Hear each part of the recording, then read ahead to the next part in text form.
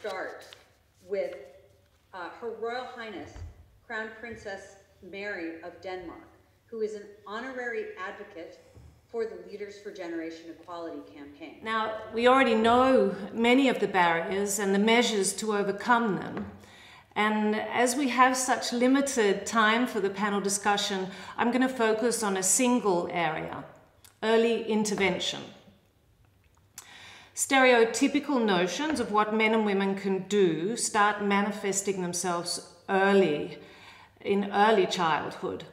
Women and girls' equal and substantive participation must be ensured from the earliest stages in life. And access to quality education and the transformation of gender norms and challenging stereotypes are absolutely essential. When girls are educated, they can make informed decisions and choices from a broader range of possibilities.